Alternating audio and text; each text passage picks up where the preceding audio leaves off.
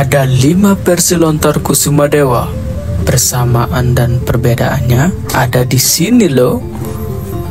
Om Swastiastu Semeton Hindu kali, kali ini kita akan info salah satu buku dari bacaan Hindu yang berjudul Buku Kusuma Dewa 5 versi Banyak beredar buku yang membahas tentang Kusuma Dewa Mereka memiliki versi masing-masing Nah dalam buku ini dijelaskan 5 versi dari lontar Kusuma Dewa Perbedaan antar versi Kusuma Dewa Alih bahasa lontar Kusuma Dewa Kusuma Dewa sebagai pegangan pemangku, kemudian penyucian diri dan laksana, tugas pekerjaan pemangku, dan penjelasan lain yang patut dipahami.